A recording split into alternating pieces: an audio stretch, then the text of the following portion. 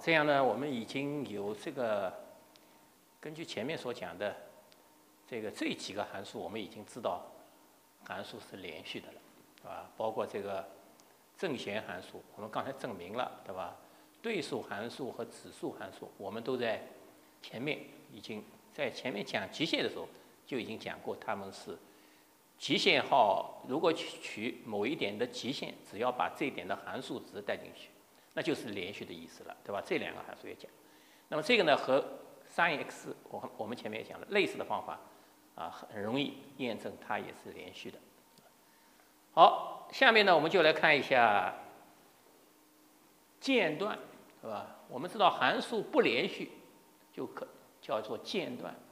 那么间断有分类，我们看一看它的分类情况啊。第一类间断点。第一类间断点呢，你看是这样，函数的右极限和左极限都是都存在，就左右极限都有的啊，都有的。哎，那么请看左右极限都有，我们前面讲了，函数连续什么意思？就是其实如果把两侧的连续也把它分开来考虑，那么就是三个东西，一个是左极限。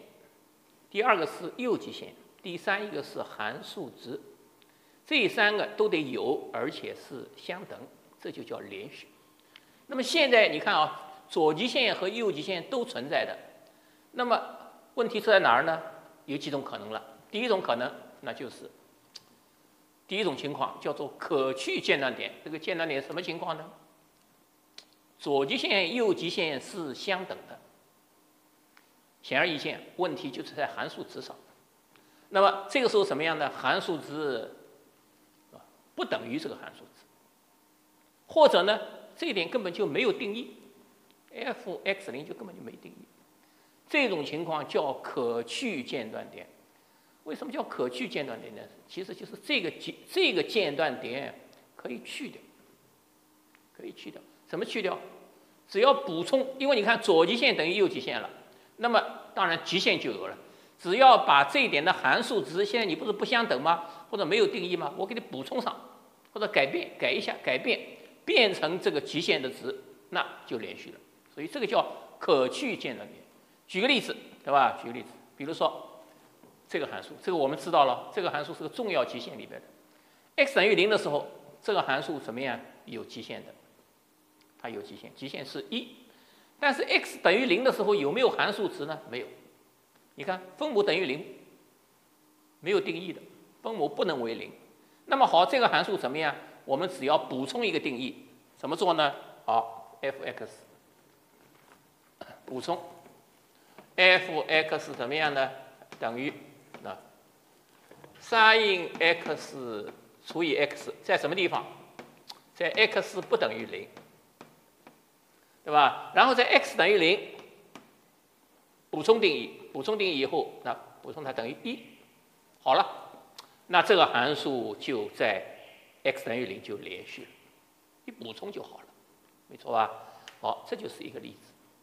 那么当然，这种例子还是啊，还我们还会碰到。第二种情况，第二种情况叫做跳跃间断点。跳跃间断点什么意思？就是这个地方，其实。可以想象了，从图上来看，这儿出现了一个跳跃，跳跃怎么样呢？就是这个地方其实就是左极限和右极限不相等了。你看，函数的右极限不等于左极限。如果从图形来看，图形来看，那什么样的图呢？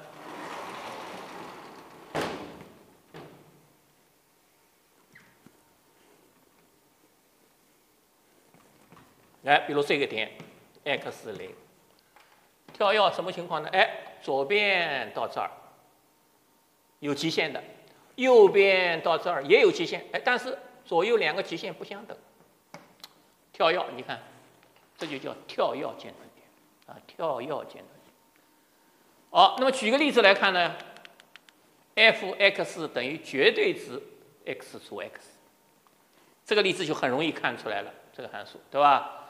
这个例子，这个例子，如果 x 大于零，那么这个 f(x) 等于这个上面这个括绝对值的就符号可以拿掉，那么正好等于正一了。x 小于零呢，那么这个是负 x，哎，除 x 等于负一，也就是这个函数其实左右两侧在零的零左侧和右侧呢，一边是等于负一，一边等于正一。那么如果求极限的话，那么一边等于一，一边等于负一。那显然在这一点，函数值左右极限出现一个跳跃，那么这个就叫跳跃间断点啊，这是第二种。这两种都属于第一类间断点，基本条件是左右极限都存在啊。那么第二类间断点什么呢？那就是除了第一类间断点都叫第二类间断点。那么既然第一类间断是左右极限都存在，那第二类间断点什么意思？起码左右极限里边起码有一个。不存在，没错吧？至少有一个不存在，啊，左右极限，呃，右极限和左极限至少有一个不存在，啊，所以不存在。那么当然不存在的情况也可以有有好几种，对吧？那比如说一种叫无穷型，无穷性什么呀？就是极限是无穷，无穷大。那么我们知道极限是无穷大，不过我们是这样说法，其实。这种情况极限是不存在的，没错吧？好，那么它属于极限不存在，但是极限是无穷。那比如举，你看，f(x) 趋于零的时候，它是无穷大啊。那么这一点呢，就叫做无穷间断点。举个例子，那最简单了，这个例子，x f(x) 等于 x 分之一，你看这 x 等于零。x 如果趋于零的话，这个 x 分之一是无穷大，没错吧？好，这就叫无穷间断点啊。那么其他类型还有其他的，还有什么呢？比如说像这种，f(x) 等于 sin x 分之一，在 x 等于零。那么请注意，x 趋于零的时候，这个 x 分之一怎么样？趋于无穷了，就是所以 x 在趋向于零的时候。这个曲线怎么样呢？这个 sin x 分之一怎么样呢？我们知道 sin 这个函数啊是个波动的函数，震荡的，那就是你靠近 x 靠近零的时候，这个这个函数值不断的在震荡，所以大概怎么样呢？我们可以看一看，那么大概就是这样，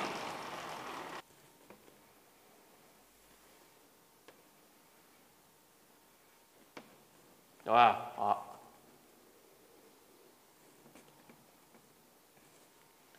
那你看啊，我们知道，哎，x 向这儿靠近的时候，x 向这个 x 分之一靠近的时候，那么哎，可可能一看就是是这样一种情况了，哎，就是在这个负一到正一之间在震荡，震荡，而且越靠越往零这个地方的震荡越厉害，越往零这个地方震荡越厉害。越往零的震荡越厉害，对吧？老是在负一到正一。当然，我这地方画的可能不是很确切，对吧？反正是负一到正一。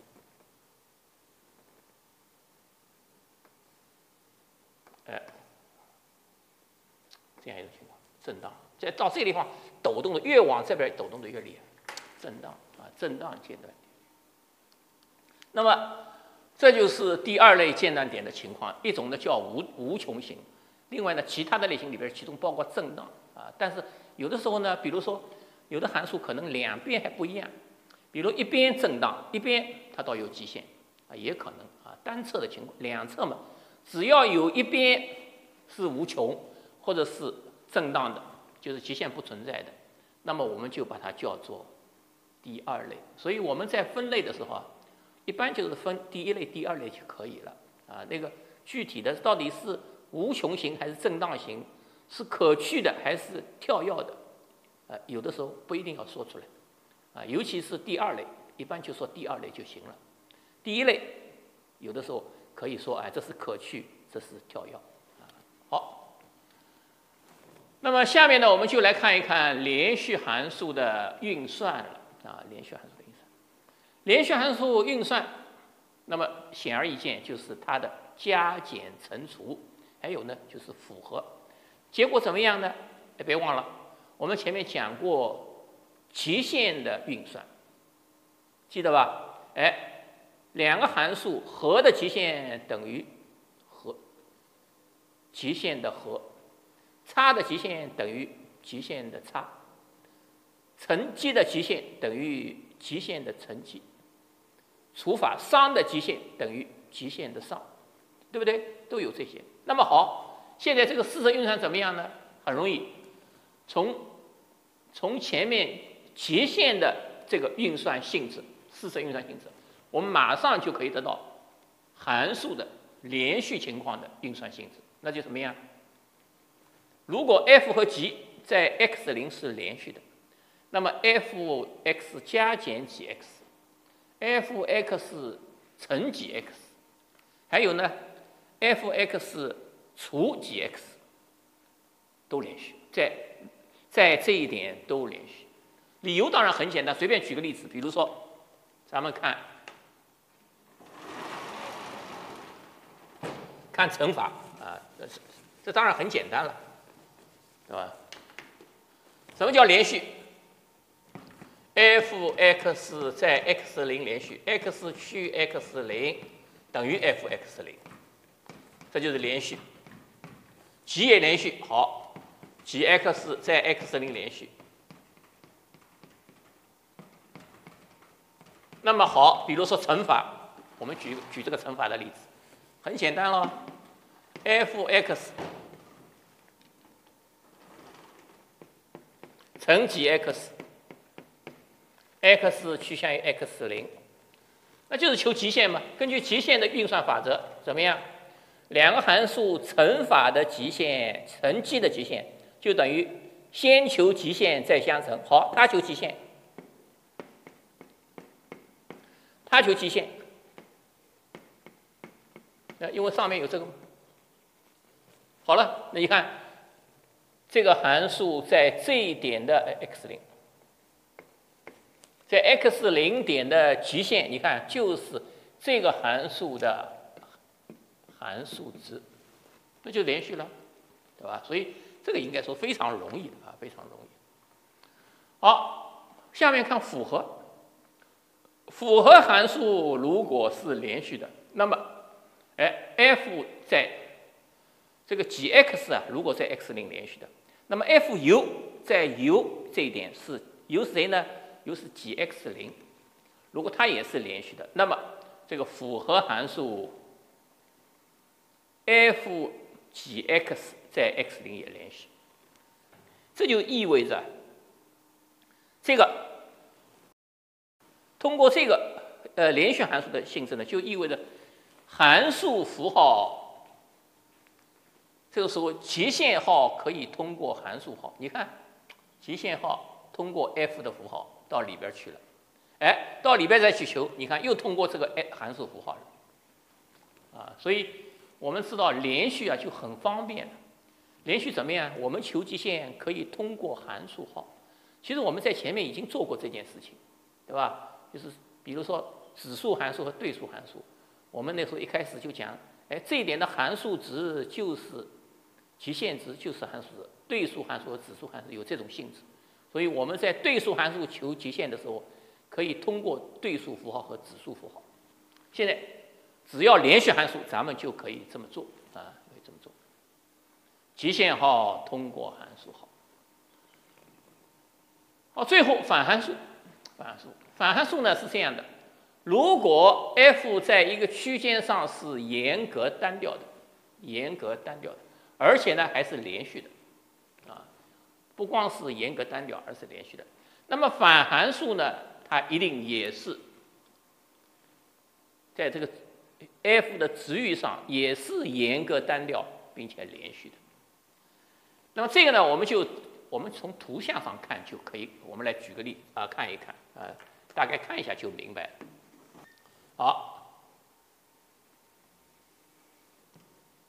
我们来随看一个例，随便看一个例子，比如说。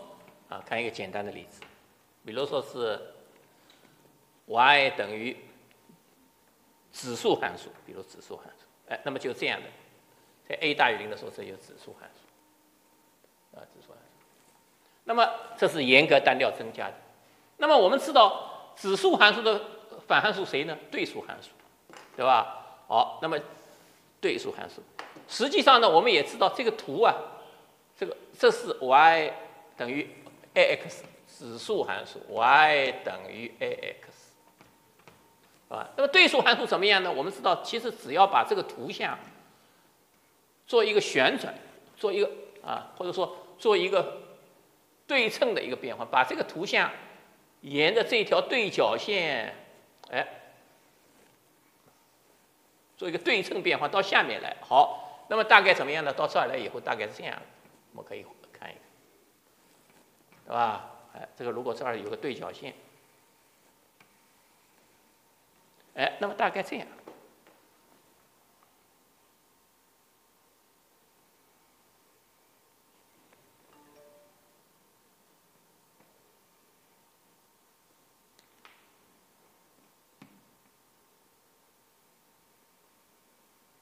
好，这个是谁呢？这就是 y 等于对数函数。那么很容易看出来，你看这图像上，这个我们以以前讲连续什么意思？连续就是曲线是连着的，当然这是一个直观的看法。那么显然这个反函数你看，当然也是连续的，对吧？你是单调增加的，我也是单调增加的，对吧？所以这个呢，应该说从直观上是很容易的。当然我们也可以证明啊，这个地方我们就不再呃给出证明了啊。好，下面呢我们举一个例子，比如说。Y 等于 sin x，这个函数在负二分之派到正二分之派是严格的、严格单调的，而且我们前面讲过，y 等于 sin x 是连续的。好，那么它的反函数谁呢？它的反函数 arcsin x，哎，那么在值域，它的值域是谁呢？请注意，sin x 在负二分派到正二分派，正好值域是负一到正一，所以 arcsin x 在负一到正一。也是连续的，啊，这样你看，我们就反函数也是连的连续性，我们也解决了啊。那么这样一来以后，解决最后我们解决了什么问题呢？就解决了初等函数的连续性啊。好，下面呢我们就来看一看初等函数的连续性。哎，为什么解决初等函数连续性呢？哎，我们前面讲了几个函数，大家还记得吧？讲了这四个函数，四个函数它是连续的：sin x、cos x、ax 指数函数、log x。那么，另外请注意，显然。这个 x 个函数当然本身这显然是连续的，这个这这个简单的 y 等于 x 个函数也是连续的。好了，那么由这个函数的连续性马上得到谁呢？得到 x 的 m 次方也是连续的，幂函数也是连续的，没错吧？好，由这两个函数连续，这两个函数连续，那么它们如果除的话呢，就得到谁连续呢？得到好，就得到 tanx 是连续的。那么这两个函数如果除的话是这样，那这个函数倒过来，它除它呢？好，我们就得到 cotangent x 也是连续的。你看，这就是这四个三角函数都是连续了，幂函数连续的。好，那么由这个函数连续，这两个这里这四个函数连续，那么好，马上根据反函数，前面刚才我们讲了，反函数连续的，好，又推出来 arcsin x。连续的，arc cosine x，连续的，arc tangent x，连续的，哎，都解决了。这些函数都是连续的。好，那么所有这些函数，对吧？这些叫什么？如果再加上常数函数，这些叫什么？叫基本初等函数。基本初等函数都是连续的，那么它们的加加加减乘除符合，最后得到什么？就得到初等函数了。所以初等函数最后，由于前面这些这些前面的讨论，保证了基本初等函数是连续的，那么我们就有什么结论了？就有初等函数在所定义的范围内都是连续的，啊，这就解决了这个问题了。好，那么也就是只要是初等函数，我们中学里就很熟悉的那种函数，对吧？哎，有解析是能表达出来的。那么 x 趋向 x 零怎么办？就等于这个函数值了，带进去，带进去就完了。啊，求极限就带进去。那说明什么？你给我一个函数，初等函数形式的，写出一个公式来。我们要一个表达式有了，我们要求在某一点的极限，只要这点有定义，带进去就完了，啊，好，比如说下面我们来看一个例子，看一些例子，求下列函数的下极限了，啊，看一看，什么结果呢？好，比如说第一个小题，x 趋向于四分之派，那么括弧里的函数怎么样？显而易见。连续函数，显然是连续函数，那怎么办？带进去，能带吧？只要能带就行。好，我们看第一个小题，第一个小题，对吧？好，求极限，那怎么求呢？能不能带进去呢？看一看，好，咱们往里带，x 等于四分之派，能带吧？好，三项都可以。第一，sin 四分之派，二分之根号二。第二项 cosine 四分之派，哦，也是二分之根号二，没错吧？好，第三项 tangent 四分之派一，好了，最后答案是这两个减掉是零加上一，就直接带进去啊，不用很简单，对吧？好，第二个小题，第二小题是 sin x 减 sin a x 减 a。那么当然，我们还是希望，还是首先，这是一个函数，是初等函数，我们就想带进去了。但是我们发现要带的话，有点小问题。什么问题？x 趋向于 a 的时候，真的带进去，分母等于零了。分母等于零了，分母等于零当然不行了。那怎么办？好，很简单，咱们就想办法把这个分母上这个零的因子去掉它，或者想办法。看一看能不能最后化成我们所了解的能做的极限，对吧？好，那么第二个小题我们看一看，那就用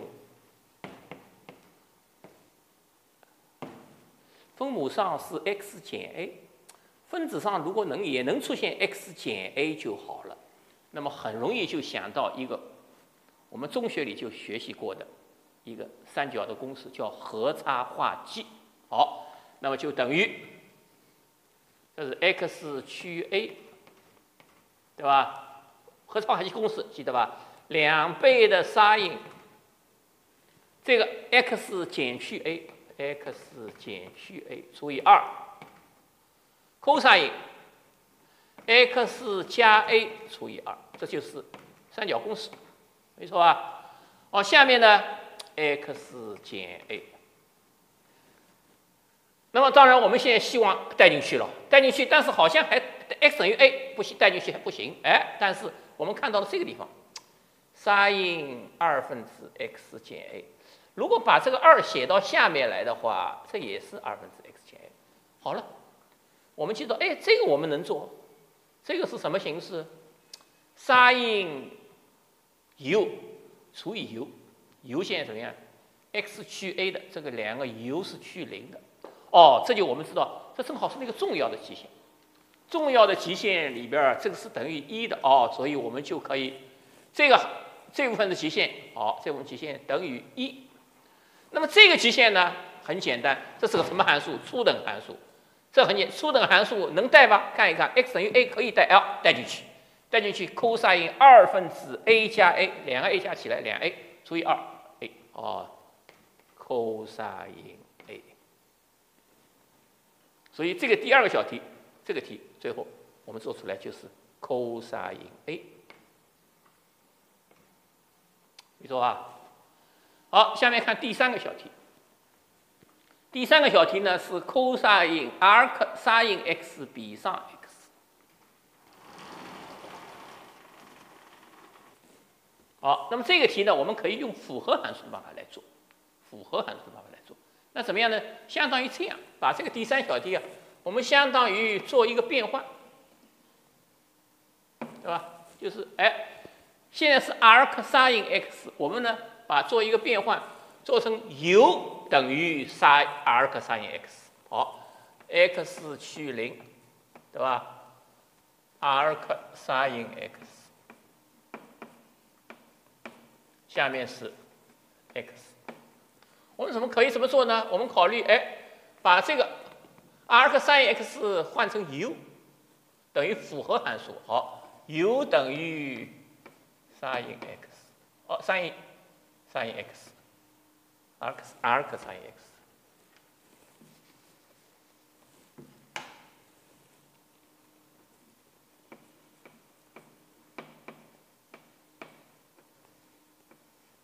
好。那么这个函数里边，请注意把 u 换进去，那么好，它就谁呢？分子上就是 u 了。分母呢很简单，很容易看出来，就是 sin u，哎，对吧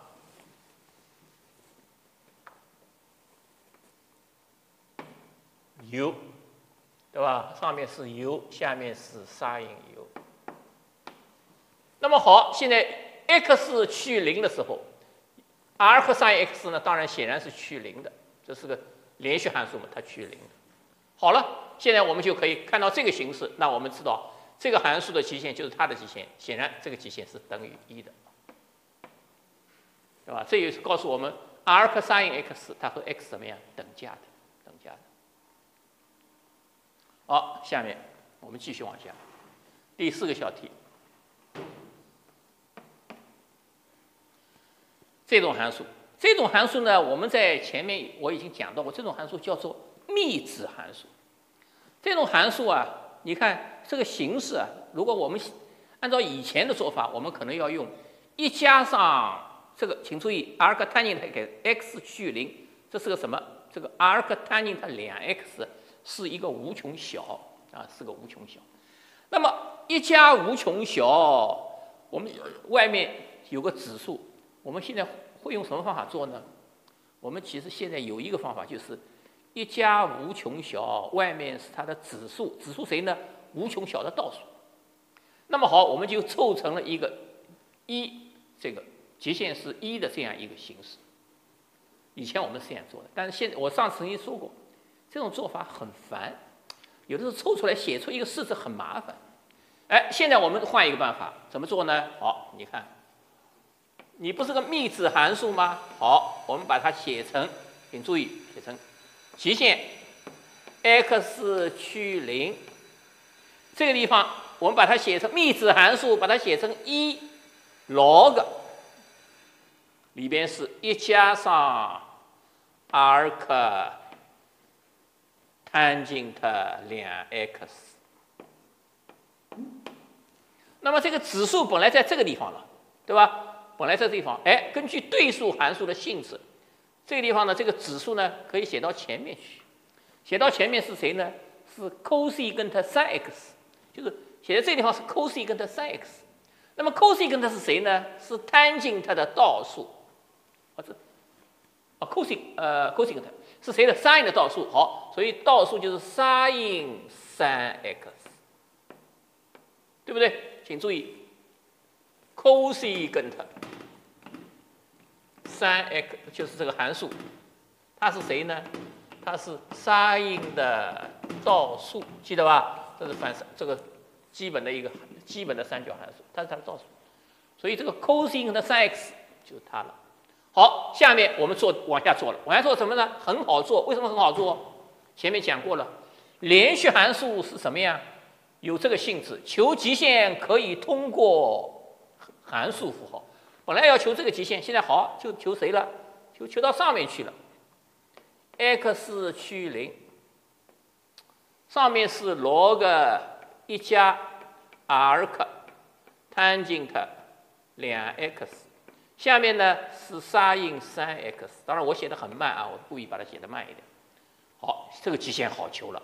这个极限为什么好求呢？用我们前面讲的等价无穷小替换，哎，很好替换了。好，等价无穷小替换，大家还记得吧？x 趋于零，下面呢，sin 三 x 就等于等价于三 x，sin 无穷小就等价这个无穷小，上面呢 log 一加无穷小就等价于这个无穷小。arctangent 二 x，哎，大家还记得吧？我要求大家记住的这些三角，就是等价的这个无穷小的一些关系式。三 x 不要动，r 和 tan t 无穷小又等价于这个无穷小，又换掉了，好，x x 抵消了，一的三分之二。看到吧？哎，这个题，你看我们用用这个方法来做，就显得比较简洁啊，而不是去凑成那个一加无穷小，外面指数是无穷小的倒数，这样的话，那个式子很复杂，很繁琐啊。好，下面我们再来看这个小题，第五个小题，大家我看一看大家就明白了，这个小题又是个幂指函数，你看，这是个指这个底。这个是指数，这里边有 x，这里边也有 x，对吧？好，我们有老办法了，跟上面一题一样的方法。怎么做呢？好，等于一 log，又用这个办法，极限 x 趋向于 a，怎么做呢？一 log sin x 除以 sin a。哎，本来这个地方是指数，没错吧？指数现在好，我们把它换掉，换到换到换到哪儿去？换到哎，根据对数函数的性质，这是指数，可以写到前面去。写到前面就是 cos cotangent cotangent x 减 a。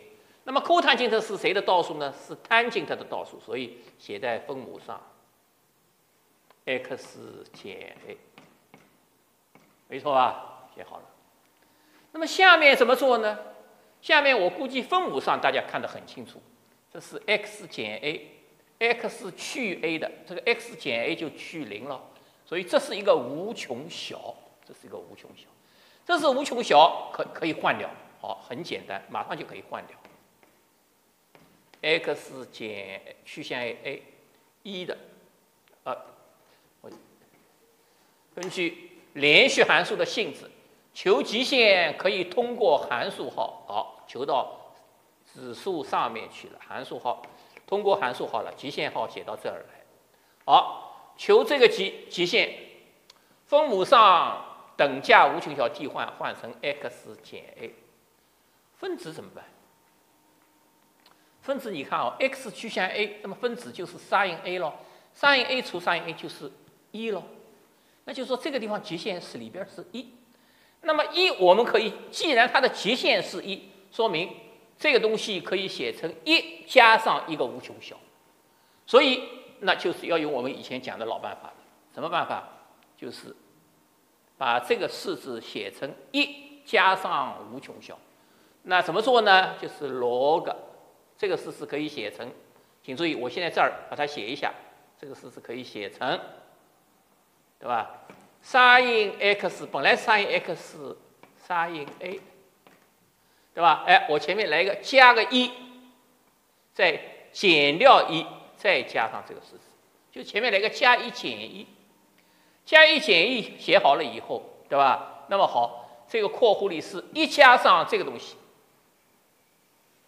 无穷小，那就根据等价无穷小替换，就换成这个无穷小，换成谁呢？换成。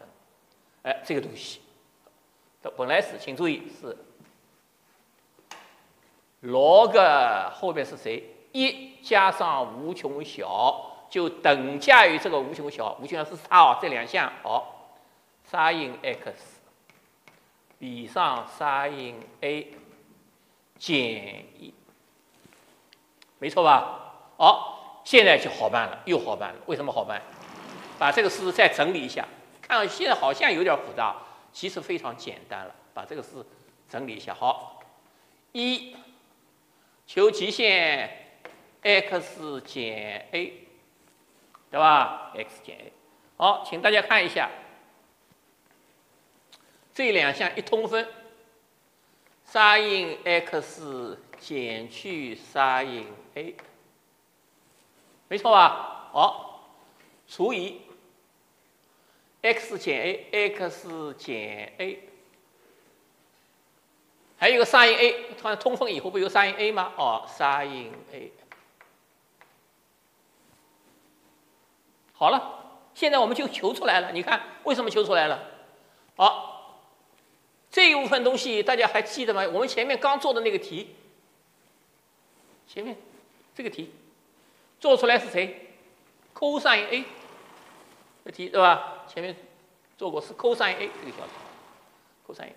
那么这个呢，sin a 在分母上哦，所以就等于一的哎，这个极限是 cos a 除以下面 sin a，看，最后这个答案就是就是一的 cotangent a，是吧？如果写的话呢，当然其实这个这已经是个。确定的值了，已经是极限求出来的。当然，我们可以写成等于一的 cotangent a，对吧？这就完成了这样一个初等函数的连续性这样一个题这些题了。从这些题我们可以看出来，我们这个在求极限里边有一个很方便的事情了。怎么样？初等函数求极限，我们极限号可以通过函数号。极限号可以通过函数，当然有大量的例子，最后怎么样？你要最后要把那个最后的答案求出来。那么这个函数是把你把这个 x 趋向 x 零，这个 x 零带进去，有的时候可能会这一点没有定义，那就就要用一点变换，用一点技巧啊。好，下面呢，我们继续来讨论函数的连续性啊。先看第一个题，第一个题。f(x) 等于这样一个函数，这个函数啊是个很特殊的函数。你看啊，三点三个地方不一样的。当 x 大于 x 大于零的时候，这个表达式；x 小于零的时候，这个表达式；x 等于零的时候等于二。告诉你。那么好，这个题我们知道，看看看连续性呢。首先，这个函数啊，我们可以看到出问题就出在 x 等于零这个地方。x 大于零显然连，因因为 x 大于零就是这个函数初等函数嘛，连续的。x 小于零也连续的，所以只剩下 x 等于零要讨论，是吧？x 大于零不用讨论了，因为它是初等函数。x 小于零也不用讨论，是初等函数。x 等于零为什么要讨论？x 等于零左这个这一点等于二，左右两点左右的函数它的表达式是不一样的。对吧？所以我们要讨论它这一点，这一点是个特殊点，它的旁边的这个函数值啊是另外定义的，它不是等于二，是旁它的旁周围是特殊定义的值。好，那么所以我们可以看啊，比如说这个小题，第一个小题，第一个小题。好，当 x 大于 a 的时候，啊，x 大于零的时候，f(x) 谁？f(x) 是 sin 两 x 除以 x，初等函数，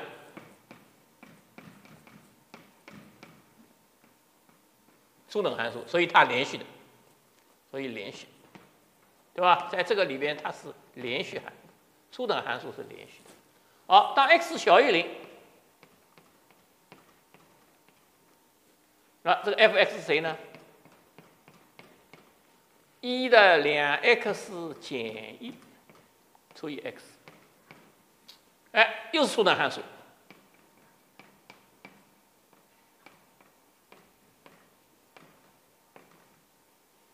也是连续的，对吧？同样连续。好，那么第这个大于零小于零连续了，也是连续的。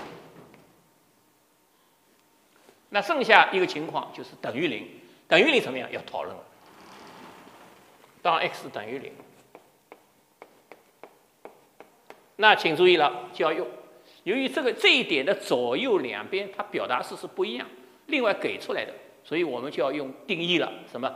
左极限、右极限函数值三个东西。好，左极限，x 趋向于零，左边 f(x)。那么用哪个符号？那哪个？当然小于零嘛，用这个。哦，这个是什么？一的两 x 减一除以 x，x 趋零。那怎么做？那这太太简单了。一的无穷小减一就等价于这个无穷小，哦，就等于两 x 除以 x，没错吧？x 趋零。所以显然这个是等于二，等于二。好，看右极限，好，极限，x 趋于零，右边 f(x)。那谁呢？上面这个表达式，那大于零嘛？你右边嘛？右边嘛？零的右边这个好。sin 二 x 比上 x，x 趋零，哎，又可以，sin 两 x 等价于两 x，又是两 x 除以 x，好，等于二，没错吧？哎，刚才这个左极限，左边，左边，对吧？好，最后函数值 f 零，那么一看有零 f 零等于二，你看左极限二，右极限二，函数值二，所以 f 在 x 零也连续，x 等于零也连续。这告诉我们什么？这个函数是处处连续的，对吧？所以 f(x) 我们最后的结论是 f(x) 在整个这个负无穷到正无穷都连续，对吧？这里讨论啊，讨论。好，第二个小题，第二个小题，哎，这样一个函数。这个函数，请注意，现在给它的表达式啊，并不是一个普通的函数的形式，实际上是一个极限的形式。那么，当然，我们实际上一开始显而易见，这个题这样的题，这样一个函数，并不是我们所通常意义下所熟悉的函数，有极限号在这儿。那我们怎么讨论呢？第一步，显然先要能够把这个极限号给它解决，也就先求极限。那么，怎么求极限呢？当然，这就又要用到。求极限这个地方，我们稍微看一看就知道了。也要用到我上一次讲的，我们在求极限的时候，其实常常是分析，分析这个式子里边儿，谁哪些是主要的，哪些是不主不重要的，哪些是重要的，这些量也要有一个清楚的认识，就是它的在这个式子里起的作用，对吧？有些量在一开始看着还行，到后来就没有用了，它作用很小，微不足道。那么好，这个式子我们来看，这个 x 显然 x 这个后面减减一和加一是常数，这两个是不会变的，变的是这个 x 的二 n 加一次方和 x 二 n 减一次方。那么有什么可能性呢？x 这个二 n 加一啊，这个 x 有两种可能，一种是 x 比较大，x 大于一，那么请注意这个 x 二 n 减一就越来越大了。第二一种。x 小绝对值小于一，小于一嘛，请注意，一个小于一的数越乘越乘越小了，所以显而易见，我们这个是要讨论了，要讨论，对吧？好，那第这个第二个小题，那就是首先看 x 大于一的情况，好，当 x 大于一，这个绝对值 x 大于一，那这个 f(x) 等于多少呢？我们可以写的快一点，我们就没有必要写的很仔细了，很显然。这个时候，这个东西是无穷大，这个也是无穷大。那么，我们怎么来做这个题？其实我们前面讲过的，这种 x 趋于无穷的时候，分子是多项式，分母也是多项式，只要看次方它是二 n 加一次，它也是二 n 加一次，等同阶的、同次的。同次数就是只要把系数相除，一除一，好，它等于一。f(x) 等于一，求极限以后等于肯定等于。好，第二个，当 x 小于，绝对是小于，绝对是小于一嘛？好，那显而易见，那就是这个，请注意，这个 x 小于的，那么我们前面有求也求过的，记得吧？就是这个指数函数 q 的。n 次方记得吧？q n 次方，这个 q 呢，如果绝对值小于一，这个极限怎么样？趋于零的，记得吧？专讲过的。好了，现在这个 x 就在这个地方 q。好，那么既然 x 是绝对值小于一的，那么根据这个这个函数的极限是零，我们知道它实际上是它的一个子列，是 a 二 n 加一嘛，都取奇数了，指数。它的一个子列，基子列，好，它趋零，所以分子分母是 x 的两 n 加一次方都趋零的，趋零嘛好，只剩下零减一除以零加一，那就是 f(x) 等于负一了。好，最后一个情况，那么如果绝对值等于一怎么样？好，如果当 x 等于一，那就直接写了 f 一。f 一嘛好，上面是一一一减一是零，下面是一减一加一等于二，零除二这是零，对吧？好，f 负一，f 负一呢？好，显然分母上是，分母为零了，所以 f 负一是没有定义的，无定义。哎，这就得到这个结果。在这个大于一的地方，绝对值小于一的地方，还有等于的地方，都已经告诉我们它的结果了。那么这个讨论就很简单了，对吧？那什么结果呢？好，其实这个函数是个很简单的函数。什么函数？如果把它画出来，非常简单。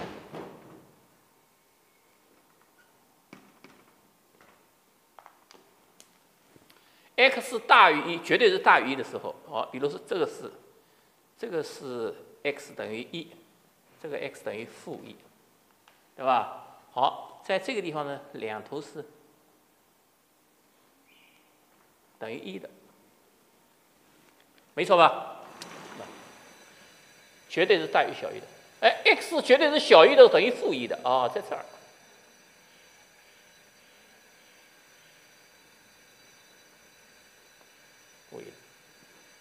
对吧？哎，那么。X 等于 x 等于一的时候呢，等于一的时候是等于零的，